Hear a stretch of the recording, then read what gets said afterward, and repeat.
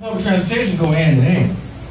And I can guarantee you, when I was a young man catching the bi-state in St. Louis, when it was still 65 and 75 and 85 cents a day, I was out there every day dreaming about having a car.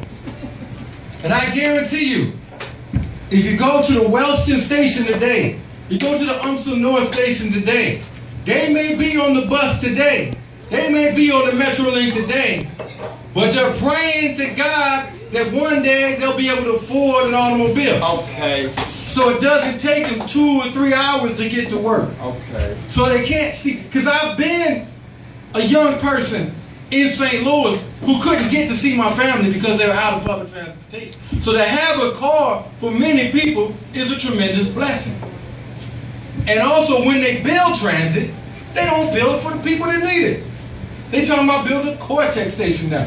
What about something to get people in North County to their jobs? What about something to get poor people to their jobs? What about something that benefits the working class people?